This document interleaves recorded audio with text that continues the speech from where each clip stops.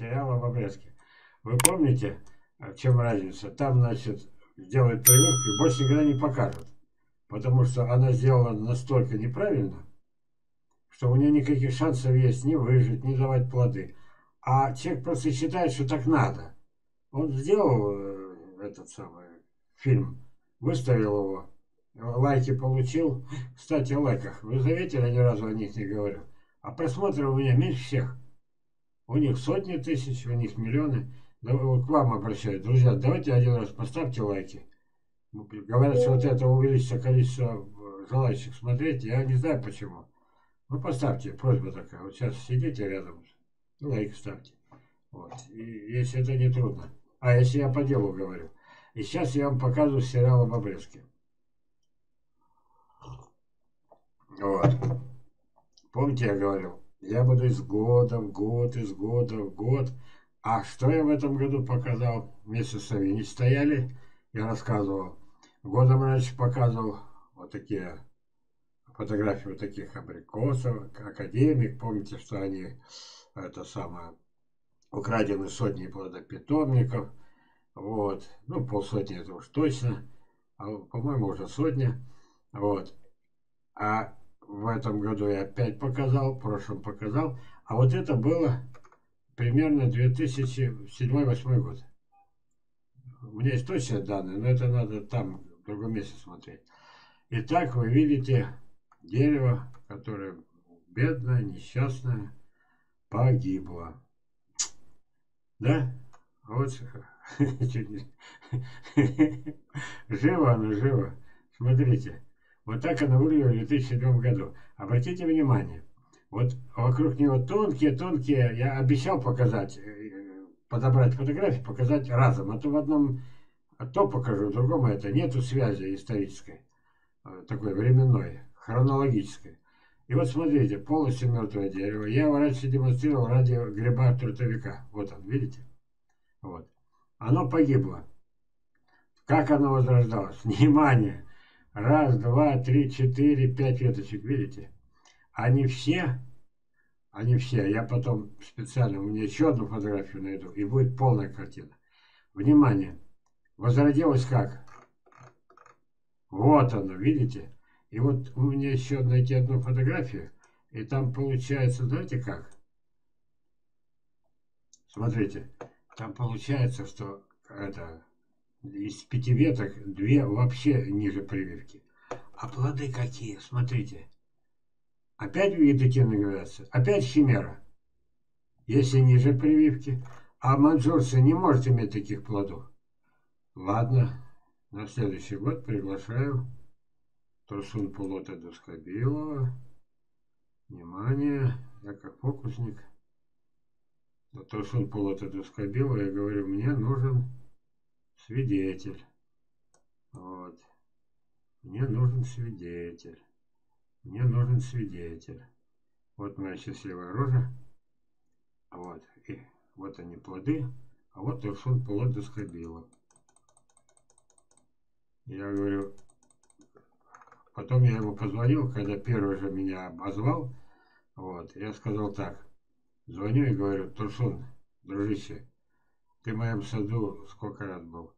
Я могу давать тебе телефон твой, чтобы ты подтверждал, что это не сказки. А то самое мягкое выражение было из оскорблений. Фотошоп. Во. Ну что, Турсун, ты тоже фотошоп? Я тебя нарисовал? Вот. вот так получилось. Да, помельче, чем эти, чем академики. А это середина наполовину. Вот это есть один из моих химер. Вот так вот. Вот. Ну а дальше просто учеба. Подвернулась фотография, я когда-то фотографировал как. Вот еще раз. Ну, тема-то все одна. Вот. Вот эти вот веточки, да, вот эти вот почти вертикальные. Это самые волчки. Ненависть к ним просто изумительно рядом будет погибать дерево, то есть рядом, рядом с этим выше э, будет дерево уже явно умирать, страшные язвы уже, не, как говорится, несовместимой жизнью, а все равно приказ от первым делом отрезать эти. То есть их не считают за ветки, их не считают, что они когда-то будут вот такими. Еще раз говорю. Видели? Видели? И наконец видели. Вот. Я тогда взял для образца еще и вот это дерево. Самое первое дерево, я хвастался, что это манжурский абрикос, но я вас обманул. Это дерево еще раньше посадил. Это дикая рябина из леса. Выручи 270 рублей. Сейчас отправлю. Сейчас отправлю. Дело в том, что тут уж надо... Ох, если бы я рассказал одну историю. Нет, у меня есть такие околосадовые рассказы. Вот. Я там рассказал историю, которая не кончилась уже. Вот. Вы бы сказали, ну дурак ты железо. Зачем ты взял и подарил на свадьбу кольца? Вот. Если бы я не подарил бы кольца, свадьбы бы не было. Так бывает. Это была последняя капля. Теперь прошло много лет.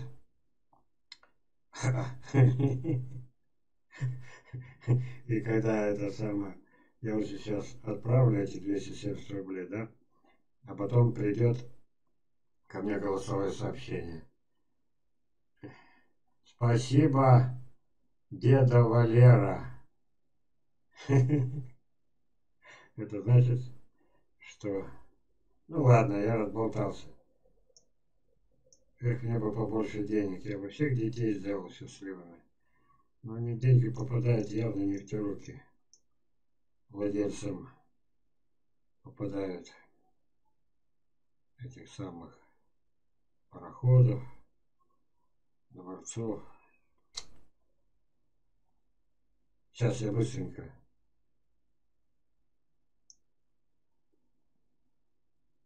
Надо было все время золотые кольца подарить. Как последний это, чтобы, чтобы уже точно свадьба состоялась. С тех пор до сих пор приходится, сами видите,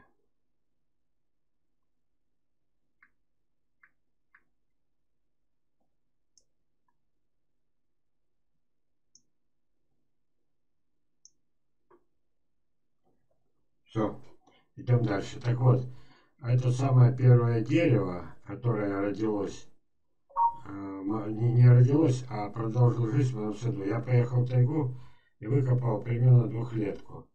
А вот. Если это было в 85 году, то сейчас ему уже, ну, учитывая возраст, года два, уже за 40. Так. И вот я снял фотографию как учебную. Вот. Если бы оно жила природе, вот это бы же, если бы дали там жить, там же все темно, там э, заросли, а здесь солнце, здесь свобода. Вот, здесь свободно, так? Значит, а и тогда получается, что некомфортно ему. Вот любая пересадка, ведь когда я садил, это дикарь, его убить почти невозможно. Но когда я садил, я крону не обрезал, я не знал, что надо обрезать. Ну, корни более-менее более приличные, я же знал, что надо корни сохранить. И вот где-то лет 3-5 назад появилась вот эта ветка боковая. Для чего она нужна? Это замена. Она делает дерево почти вечно. Вы видите, какой бы оно ни было дикарь, дикая рябина красная. Вон красные рябинки лежат, видите, вон плодики на дальнем плане. Вот. А тем не менее, вот эта вот трещина говорит о том, что ему еще долго жить. Ну, стареет, стареет. Кстати, вот из-за этих вот трещин как раз научили людей. Дерево тогда было двухлетки. Помните, я рассказывал? И на несколько тысяч саженцев сам директор завода, он же начинающего сада молодого, сам делал эти самые страшные раны, называется, э, называется бороздование. Жуткая история была. А я вам показываю учебный снимок. Приходит пора, уже рана появляется сама, и не надо было мне резать. Зачем? До того, ждать, чтобы она раньше появилась, глупость. А вот это вот уже пошла замена. И это, значит, дерево еще жить десятки-десятки лет. Вот так вот. Вот так вот. Вот. Так, сколько времени? 40 минут осталось. Так, знаете, наверное, про тему... А, ой, химер пока остановились на этом. То есть то, что выше сказал, хватит. Счастливые люди, у которых... Это один из моих... Э, ну, ну кто-то из тех, кто комментировал мои вот эти самые, комментировал мои фильмы. Счастливые люди, у которых фруктовые деревья растут, плодоносят. Летом, представляя окна в доме, открываешь сад, огород, запах яблони, абрикос, здорово. А реально что? Все заросло целиком, крапивы, репей, хочется яблонь, груши, вишни, абрикосы, персики, сливы, ягоды, росли в каждом участке. Есть кедерки, это кедры, видимо. Вот, шишки крупные, рябина, черемуха. О, ранетки мелкие. Все пыли от машин. Ну, поняли, да? Ну, я же не зря показал Эдуарду. Красота какая. Там только не хватает этих абрикосов, яблони, груш. А со мной все в порядке. Так, здравствуйте, уважаемый Валерий Константинович. У меня растет груша. Купила в питомнике. Очень серьезное письмо, друзья. Штамп не гниет. За шейкой слежу. Лет ей мало. Когда сажала, подстригала крону, так как вас смотрю. То есть все нормально. Вот. Тени нет. И это, это хрен придерешься, да? Растет поле. Весной просыпается, весело начинает расти, и в середине лета как будто и облили черными каплями. Удобряя настоем прошлогодних бурьянов и бродиловкой помета. 20 сантиметров органики кладу пару раз по кругу. На яблонях нет пятен, растут рядом. В этом году еще и мороз со снегом, но пусть опять зацвела на молодом отростке. Так. И опять почернело. Тени нет. Еще раз подчеркиваю, что тени нет. А я же, помните, нашел причину, одну из причин. Это черный рак. Прошлый год молодые концы почернели. В этом не знаю, что будет. Дело в том, друзья, что э, здесь не хватает пустяка, не хватает фотографии, так? И я делаюсь общими понятиями. Итак, когда-то, это мои личные умозаключения, личные, нигде не читал. Когда-то яблонь груш не было. Э, было нечто среднее, в данный момент э, напоминает э, айва, может, э, еще сохранила вот эти качества, дикая айва. То есть что-то среднее между яблоней и грушей. Когда-то они попали на землю. Можете не сомневаться, что попали на землю, потому что все это сказки, что за миллионы лет может вырасти, имеют... Вы сейчас опять вспоминать, смеяться над этим самым, что молекулы ДНК. Это нечто такое, что не за миллионы лет, от дерева к дереву, когда потомство, потомство, потомство, и вдруг прибавляется еще один ген, и вдруг ни с того ни с сего еще один, это при том, что любая, это, когда происходит любое изменение климата, и сразу и ничего нет. Ну, вспоминайте. Я, я же придумал эти ледниковые периоды, да? Вот. И вдруг откуда-то взялась ДНК во всем расцвете и, и это самое. Еще разделилась на сорта. На сорта, на виды, на геномы, на фенотипы. Все это вот, вот прямо вот раз и ничего. То есть у этого ДНК явно триллионы лет позади, десятки, сотни, может быть, миллионы планет прошло. Вот. Прошли, попали на Землю для меня это без сомнения. Почему? Есть теория вероятности. Вот теория вероятности это, это из этого самого не, не могли из ничего появиться эти самые гены. Не могли. Вот, вот не могли все, но не могли. Вот. И получается что? Допустим, берем конкретно. Ну, попало на Землю. Ну, хорошо, считайте, что из ничего появилась это самая айва. И потом она начала э, работать так. Где-то по суше постепенно-постепенно превратилась ну, в микроизменения. Тут чисто дарвиновское, тут спора нет. Вот. И тут я молюсь на него. Постепенно-постепенно получилась груша.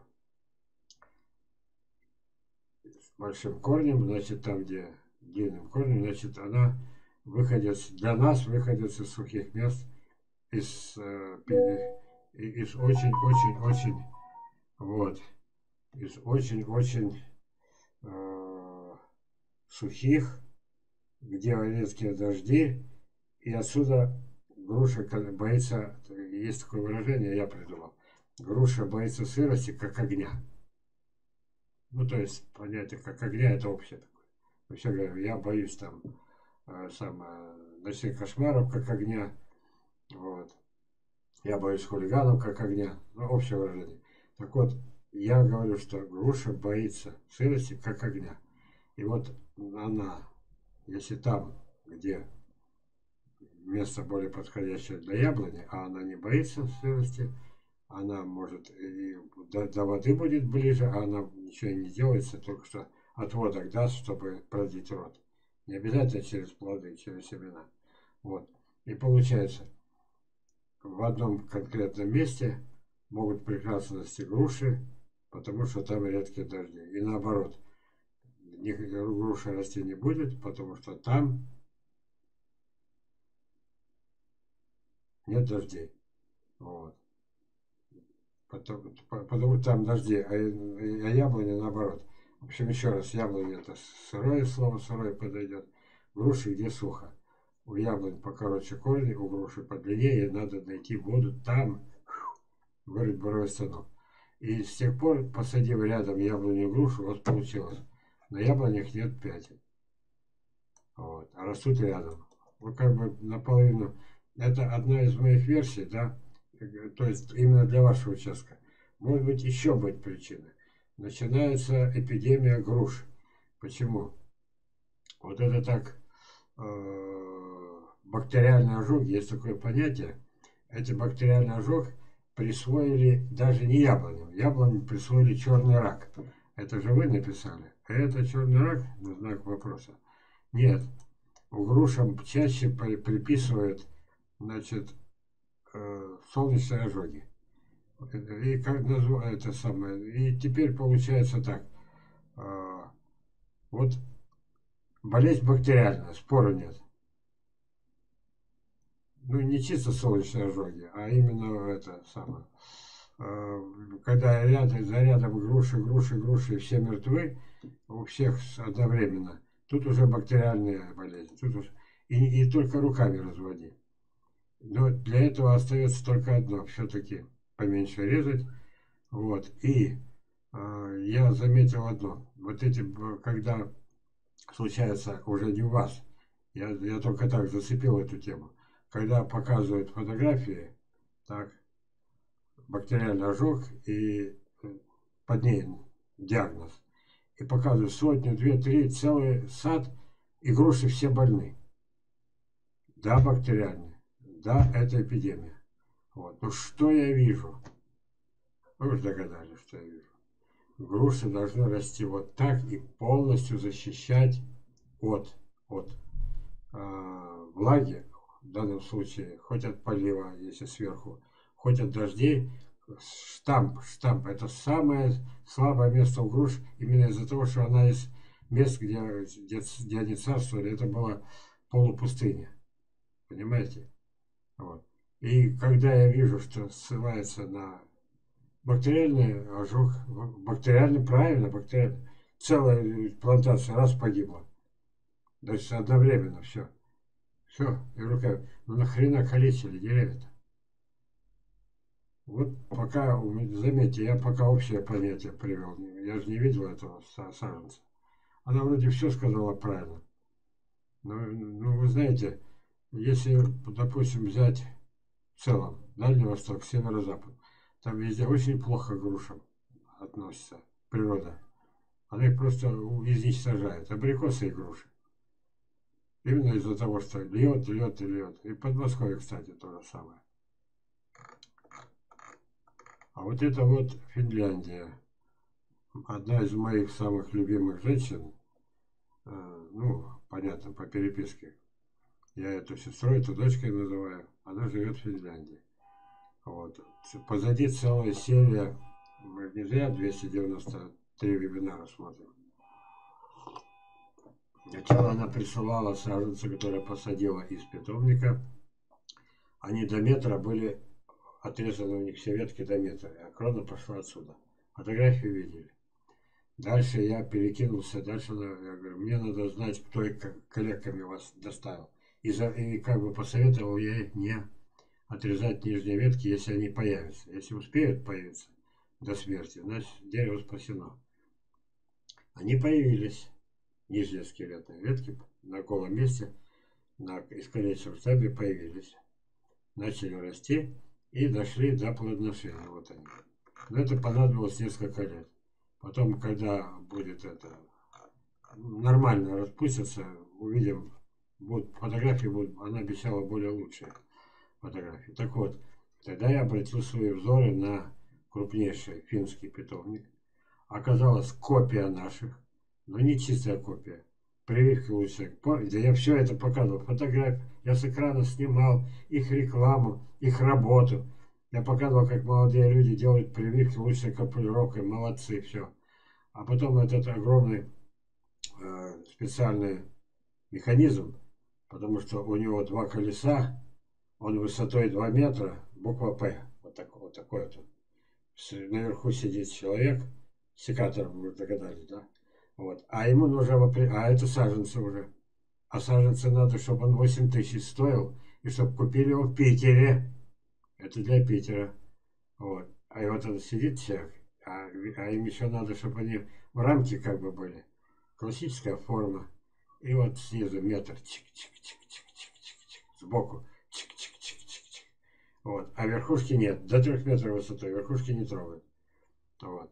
И тогда получается, по моим понятиям, еще один урод с изувеченным штамбом. Если ураганные ветры, это опять э, рычаг Архимеда, опять это, вывернутые корни или поломанные по прививку, или вывернутые корни. Уроды, на мой взгляд, настоящие. 8 тысяч. Это. Я вам рассказывал, рассказывал. Конец истории такой. Я как обещал. Я не эти специалисты. Показал, как это, глупую прививку, и все, больше никогда не увидите. Не позориться же ему. А здесь не так. Вот дошли мы до этого момента. Нижние скелетные ветки вылезли из ничего, железо попросил их не трогать, и превратились в плодоносящие.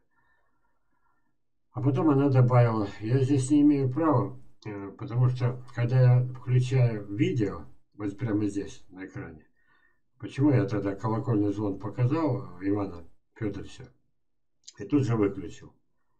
Просто похвастался, что у нас такие специалисты на все руки. А здесь получается, что приходила к ней, она мне уже в фильме рассказала, приходила к ней финка, соседка, ходила возле этих груш и восхищалась да, абсолютно здоровыми листьями, она их гладила, пыталась найти больной лист. Вот. А вы представляете, как это важно иметь нижние скелетные ветки? Сколько раз говорю, вот эти дамы, которые учили и учат отрезать нижние скелетные ветки, ну как получилось? На планете есть два человека. Курдюмов Железов. Обратитесь к Курдюмову. Он с вами заканчивал этот же, может быть, на одном курсе с вами был. Заканчивал эту Сибирецкую академию. Спросите его, для чего нужны листья на нижних скелетных ветках, даже если они не плодоносят. Что он вам ответит? Курдюмов, ваш, не наш. Вот на моего круга. Он как бы на особицу. Потому что он это это мировой уровень. Курдим это мировой уровень. Вот. А мы еще так в своем этом кружке. Нас не видно и не слышно. А там уровень. Вот. И вот он объяснит вам, что эти листья, даже если на них нет плодов, они вырабатывают с помощью фотосинтеза глюкозу. Глюкоза. Это не... Это... А! Это не мы, даже не я и даже не он придумал. Мы догадались просто, ведь я же нашел по это недавно это. Это все утверждается, это авторитетный этот зарубежный источник. Вот там уровня профессора. что глюкоза кормит всю подземную живность. Поняли? Все живое на планете, это уже я утрирую или добавляю уже от себя. Он только сказал про подземную, а я говорю теперь так. Мы, свиньи, коровы, все как копытные, все насекомые, все подземные, добавляю вот того профессора, и еще Курдюмова, вся подземная живность, это начиная э, черви, важнейший элемент, да, вот, бактерии, им нужна сладкая почва. Сладкая! Вот. Э, микориза. Значит, что я забыл? Да, черви, ой, не черви уже, муравьи, это самое. Я так удивился, знаете, ладно, про муравей потом, а то скажете, повторяюсь. Хотя я много нового про них открыл. Вот. все это, все живое, и мы люди. Для нас глюкоза в переводе на в конечном счете догадайтесь, что получается? В школе формулу спирта изучали, нет? С2, ну, вспоминайте, С5H. Ой, не могу. Алкоголики, если среди нас есть хоть один, скажет ура. Вот. С2H5OH. Вот. В школе, правда, чуть другая формула. С2H6. О, С2H6O, а тут С2H5OH. Ну, принимайте любую. От этого 40 градусов останется 40 градусов. Итак, все живое живет ради фотосинтеза. Нет, не так. Все живое благодаря фотосинтезу получает глюкозу. Вот. И когда вы эти дамы берете и отрезаете ветки, и мало того, учите миллионы людей, как это получается, что вы этого не знаете. Меня вы спросите, откуда я знаю? Да я не знаю, откуда знаю. Это, это вытекает из самого. Я посадил, вот она посадила изувеченный саженец. И помните фотографии? Вот эти вот. Вот эти. Которые пошли от это, из количества штамба тоненькие вначале. Теперь они живы. Ну что, убедил кого-то, нет? Вот. Прекращайте калечить деревья, прекращайте делать привитому дереву штамп. Нету у привитого дерева естественного штампа. Это почка. У почки есть все, кроме штампа. Ну нету штампа.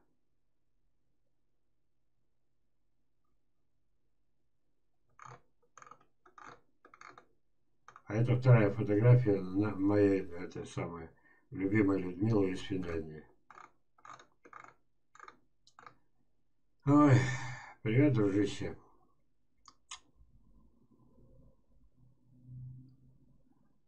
Я сейчас секунду подумаю.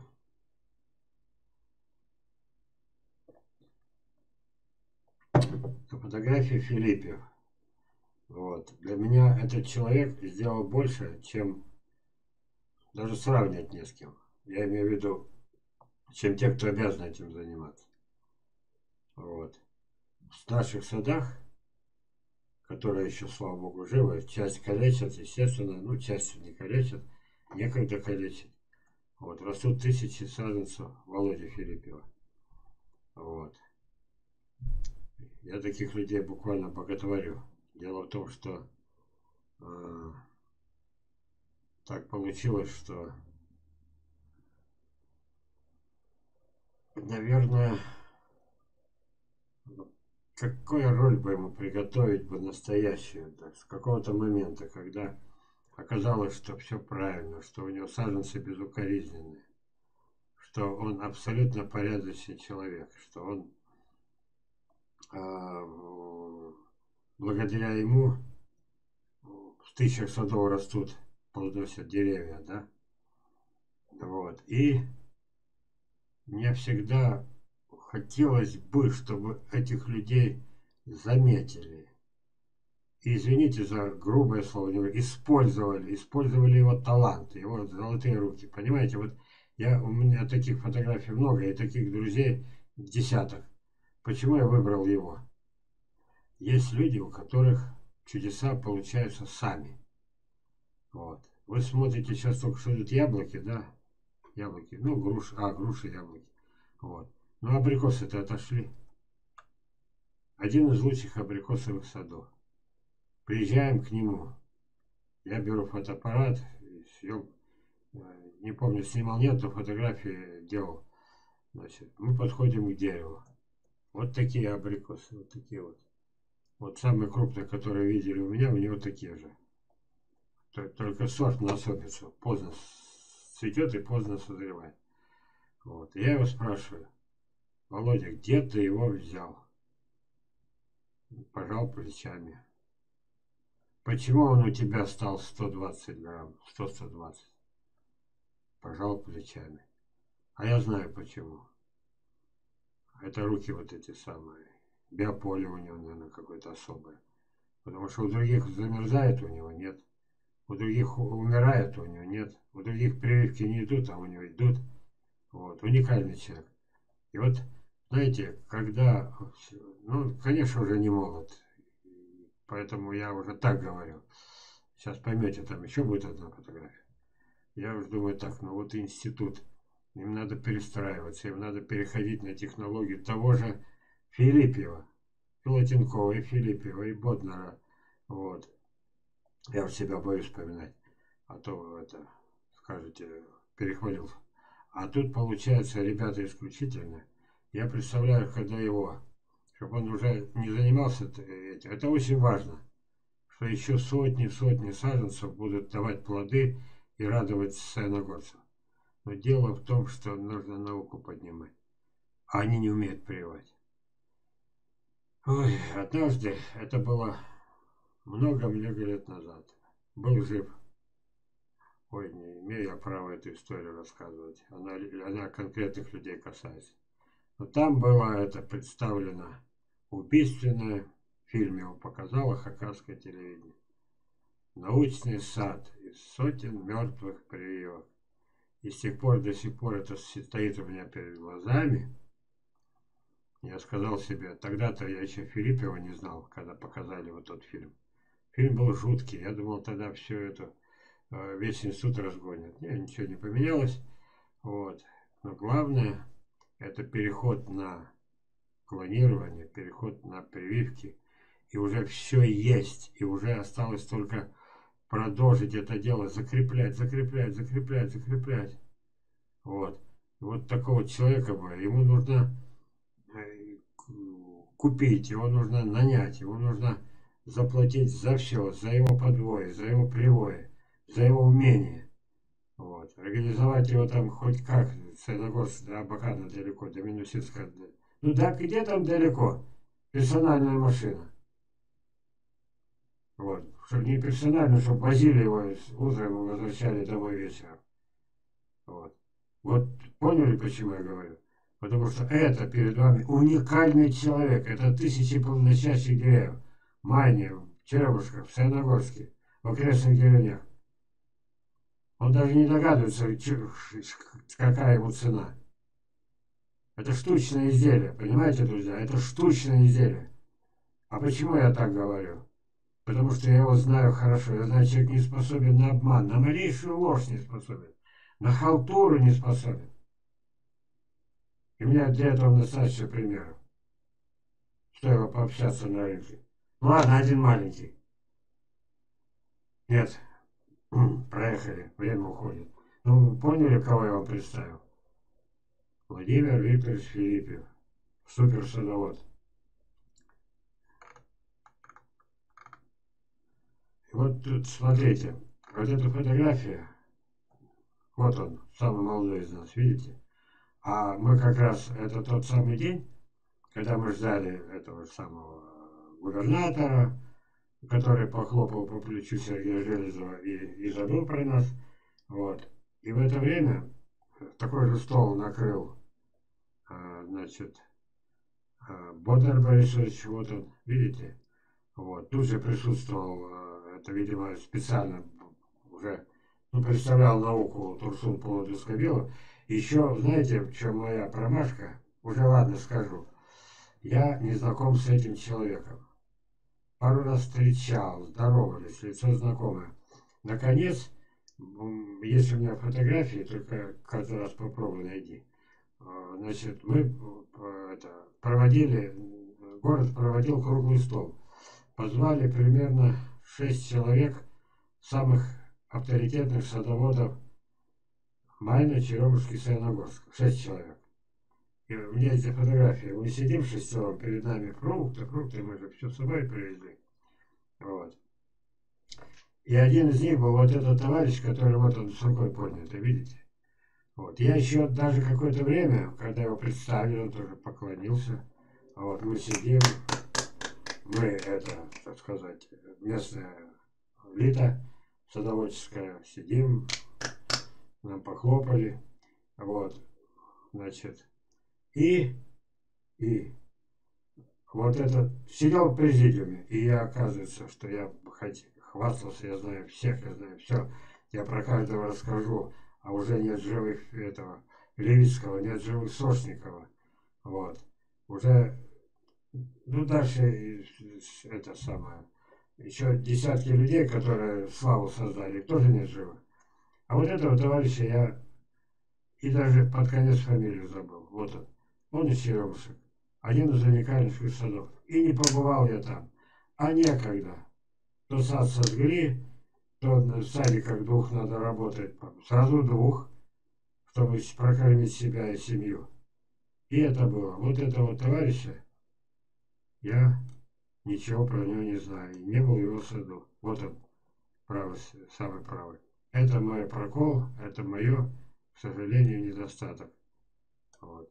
Раз посадили в трибуне, это рядом с нами, рядом с этим, с э, Боднером, Железовым, это, Жестовскими, посадили этого товарища, значит, мы упустили еще один момент, еще один сад. Вот. А где он сейчас? Это лет 10 прошло после этой фотографии. Вот.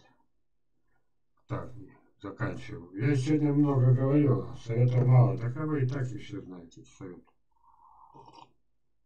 Вот, моя племянница Даша, вот она в данном случае, она ничем мне там не, почти не помогала.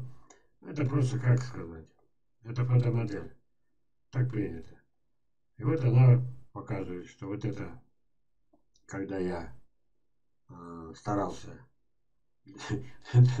Уже тогда я знал все эти теории, я знал, что деревья неправильные, что на планете нет ни одного правильного дерева. Каждому надо придраться и до 10 видов веток на любом дереве. Вот. Ну, достаточно взрослым. А, лишнее.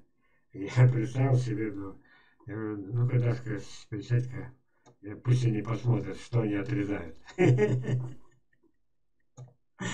Для меня Дальше не слушай.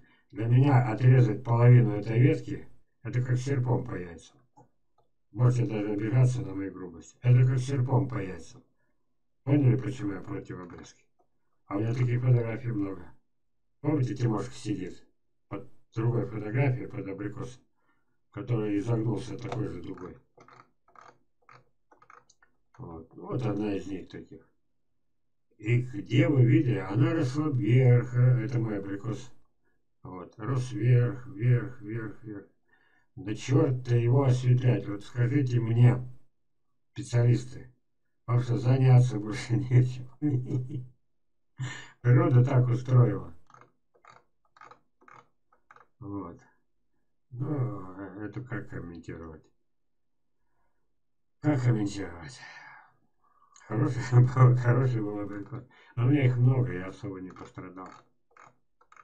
Вот. Вот это вот 2010 2009 год. Какой-то из них. Так. Это мой помощник. Вот. Время, сейчас скажу. 23 я, у меня избирательная память. 23 апреля. И вот как нарочно ранняя весна и вы знаете, что вы сейчас не видите? Сказать? Вы не видите, что деревья цветут. Смотрите внимательно. Вот у кого компьютеры, да, с большим экраном, те видят. Внимание. Я вас не обманул, цветут деревья. Смотрите. Цветут деревья. Вот это было, да, вот это был удар. Вот. Был пострашнее удар 9 мая, когда он действительно распустилось. А это сильно рано, вот как нарочно. Жара, жара, жара, бах и мороз. А вот это вот э, тот самый патриарх. Вот он. Он уже тогда, это примерно, сейчас скажу какой год. Ну и фотографии не меньше 20 лет.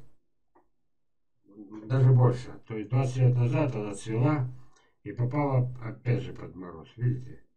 Сейчас они, вот смотрите. Цветы видите? Ничего не было. Вот. И в тот год пустые были все абрикосы культурные. Поэтому, ну, 5-7 ведер. Я же без абрикос не остался. И компоты хватило, и на варенье хватило, и заморозить хватило. Кочки я тогда не продавал. Вот. Вот что значит маньчжурец. Я просто хвастаюсь, что был у меня абрикос, который ни одного года не пропустил. Хотя ему, ну, первые годы не в счет, и 40 лет первые, это называется ювенильный период, ювенильный или ювенальный. Ну, мне без разницы, где я ошибся, и или а. Вот. Главное, никогда не верьте тем, кто говорит, сейчас я вас научу, чтобы быстрее заплодоносило. Быстрее заплодоносило – это рано, это болезни, и в конечном счете оставление в росте и короткая жизнь. Вот это дерево, я вам скажу. Да, ну, ну если бы мне это 20 лет назад я не имел бы права так говорить. Но когда 40-то стукнуло, я имею право говорить. Теперь я имею право говорить, что не надо было его это а, резать на омоложение. А вот это интересная фотография, знаете чем? Минус 10, погибли все цветы. Вот. Деревьям пофигу. Вот смотрите, когда дерево спит, видите, что ни одного цветка нету. Для него совершенно не опасно вот эти вот самые, называйте заморозками, но уже же все, раз цветы распускались, вот они мерзлые, видите, раз распускались, значит, они действительно уже все, это уже заморозок, это уже не мороз. Вот, возвратный заморозок. 6-8 где-то было. Вот. Цветы погибли. И что вы думаете? Я наблюдательный товарищ. Я подождал еще. Пригрело солнышко, растаял снег, и снова зацвел. Но, оказывается, я с тех пор убедился в одном.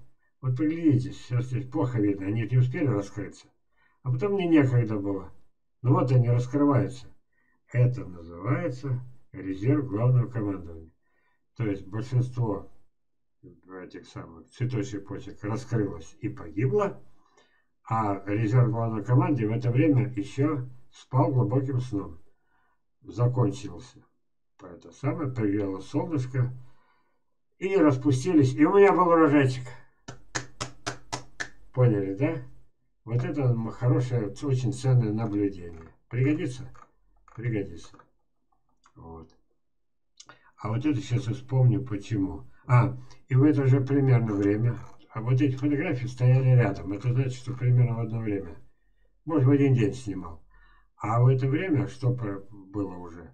А в это время, значит, оказалось, что это у меня черешня. И я не потерял черешню по одной причине, что она почему-то, хоть и считается ранняя, и раньше всех даже плодоносит, то есть раньше всех созревает, но она расцветела, расцвела, расцвела позже. Я специально сделал фотографию. У меня тогда, в те годы, старые, это был молодой сад черешневый. Я только первые попытки делал. И оказалось, черешня не успела раскрыться, и я был с черешней. Вот видите? То есть абрикосы беда в том, что он очень торопыга, листьев нет, он зацветает. А черешня все как положено, листики на месте, а он еще даже не цветет. И раз он не цвел, он зацвел позже, я, стал, я попробовал первые плоды. 53 минуты, надо заканчивать. еще раз скажу. Ну-ка, что там дальше из интересных тем? Ой, как важно. Давайте его это. Я, я люблю сердитых людей. Я люблю, когда мне не дают спать. Пропускаю эту тему. Ничего, мы, во-первых, старики видели эту фотографию. Вывод можно делать сразу, не начиная. Форма листьев, ребра жесткости листьев, наклон листьев, наклон веток. Специально подстраивался миллионы лет для того, чтобы э, дождь шел туда, куда он должен идти. Ни в коем случае не на штаб, а на кончике, на кончике этих корней. Правильно, нет? А нахрена тогда вы это осветляете дерево? Куда тогда вода пойдет? Я уже крикать начинаю, кричать. Специалисты. Ладно. Подумай, что я струсил. Сейчас я, знаете, что сделаю? Попробую увеличить. О, вот так. Шериф. Репин ВС. На мои вопросы я не получил ответов. Вы пишете, смотря что я хочу. Интересный ответ, если бы я знал, что хочу, я бы не спрашивал совета. Давайте еще раз. Вы пишете, смотря что я хочу. Интересный ответ, если бы я знал, что... Интересный... А нет, вот так надо. Вы пишете, смотря что я хочу. Интересный ответ, если бы я знал, что я хочу. Я бы не спрашивал совета. Как вы думаете, что я хочу, если кустик абрикоса, выросший у меня на даче, я вижу первый раз в жизни? Это как это? Порой читаешь статью, создается впечатление, что все читают садоводы закончили Тимирязевскую академию. Я не кончал, гражданин Репин, я не кончал. И рад этому, иначе я был бы такой же, как они. Вот, и то есть, и должны понимать, о чем пишут ученые. Например, карликовый подвой это, э, кстати, я никогда вот это вот не писал. Карликовый подвой это М9, Ту-352, я их запомнить не могу. А я сижу, думаю, что такое, с чем идет. Я надеюсь, вы не на меня накинулись, вот, а на того самого ученый. Да, это не на меня, а то я напугался. Может, поэтому Россия нет садов. Уважаемый ВС, а дальше что? А дальше я не знаю. Дело в том, что моего ответа тут нет. Вот. А это я хотел использовать мой ответ как шпаргалку. И теперь сижу и думаю, как ему ответить. Ну, он обиделся на ученых, но написал-то мне Железову. То есть подразумевается, что я Железов тоже знаю, что это за карликовое подвое, а он не знает, а я разместить толком не могу. Видите, я сижу и думаю, что такое, с чем его едят. Вот. И что мне теперь делать? Вот. А почему не было ответа, я и сейчас не скажу. Вот не скажу, что я ему отвечал и что я сейчас буду отвечать. Вот. А? Вот эти все карликовые подвои, лучше бы он и не знал, что это такое. Почему? Ну-ка найду я тут, нет. Вот. Посмотрите внимательно. Вот. Это реклама. Это карликовое подвое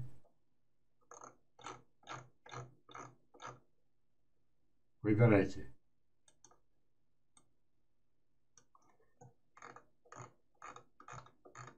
Поняли? Давайте теперь разглядим.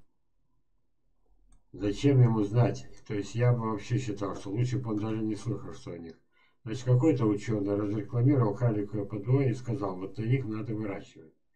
Вот когда выросло дерево вверх, оно росло в искусственных условиях, это культурное дерево.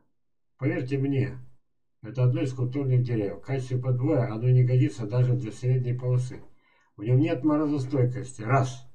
У него дебильное практически отсутствие корней. Видели вот эти вот жалкие? Вот. Это то, что наросло на палках. Это была палка, палка, палка, палка. Вот. И тогда за счет чего она такие мощные? Да за счет того, что, во-первых, Туманная, туманная установка. Это когда насыщена влагой воздух, ну, где-то до 100%. Раз. Это специальная теплица. Теплица с матовыми, с матовыми стеклами. Если бы стекла были прозрачные, тогда бы она, они бы сгорели просто, эти деревья бы сгорели. А матовая, это значит, там создается условие для быстрого-быстрого роста.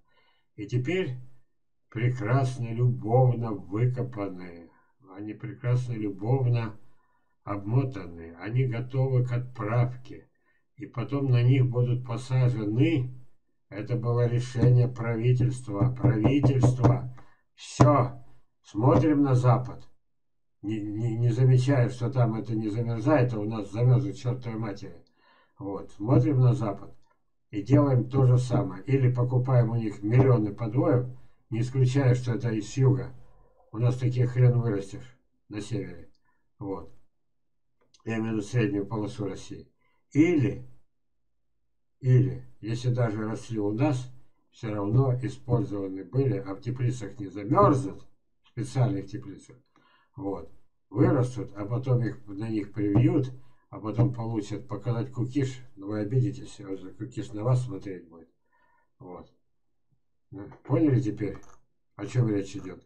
Не дай Боже, как можно было, не им будучи никакими специалистами, а за несколько лет оправдает себя, окупит.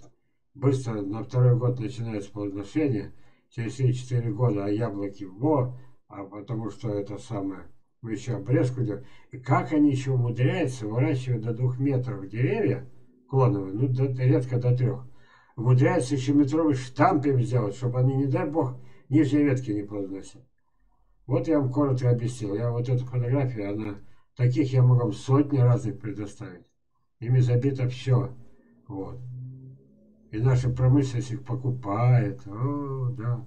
И наше министерство, а это самое. А знает ли новый руководитель, министр сельского хозяйства, эта дама, она хоть понятия не имеет, чем она взялась командовать? Она вот эти детали знает? Или есть у нее хоть один советник, который бы сказал, вот это дерево... Все, проехали. Вот, это тоже пропускаю фотографию. Вот, теперь вы поняли, вот это, чем он возмутился. Ну откуда ему знать, что такое карлик подвой? И где теперь я найду этого Репина, товарища? Репина. Где я найду? Это письмо из архива. Чтобы он посмотрел этот вебинар. К вам, друзья, ну, ну разошлите их каждый нескольким людям. Ну поставьте эти долбанные лайки. Ну нельзя так, что вот через месяц будет не больше 500 просмотров. А сейчас, по-моему, этого уже нет. Чтобы вот этого дерьма мне нету. Сам, не.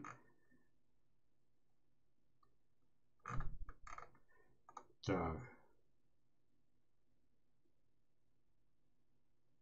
Все. Время прошло. Две минуты перестарались. Значит, будут вебинары, еще будут. А мы сейчас переходим туда. Ой, сюда лучше не смотреть. Ну, раз случайно открыл. Вот на этой э, европейской фирме была присвоена моя фотография. Поэтому я взял и показал вам и поиздевался, что где, где в Сибири, где в Сибири вы собрали коллекцию лучших фотографий со всей планеты, включая мою, лучшие фотографии самых уникальных сортов со всей планеты. Где в Сибири хоть одно из них? А? Смотреть в глаза.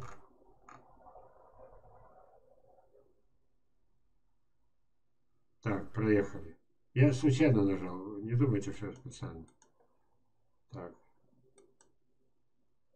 Здравствуйте, на какую сумму надо сделать заказ? Вот свеженькая, я, я это, не, не, не, я не это, только сейчас открыл, видите, не открывал. Случайно, не нарочно. Какую сумму надо сделать, заказ костик, мне нужен абрикос. Ну, дальше я не имею права, это же личная переписка. Ну, допустим, абрикос, дальше пойдет запятая, может быть, слива, вишня, ладно. Значит, на какую сумму? Тысячу рублей плюс пересылка. Если это бандероль будет подешевле, рублей 300, может быть 400, но это минимальный заказ. Ну, берите тысячу рублей, поделите на 15, кольцко 15. Сколько получается? 70, да? Ну, 70 косточек, семечек, смотря что закажете.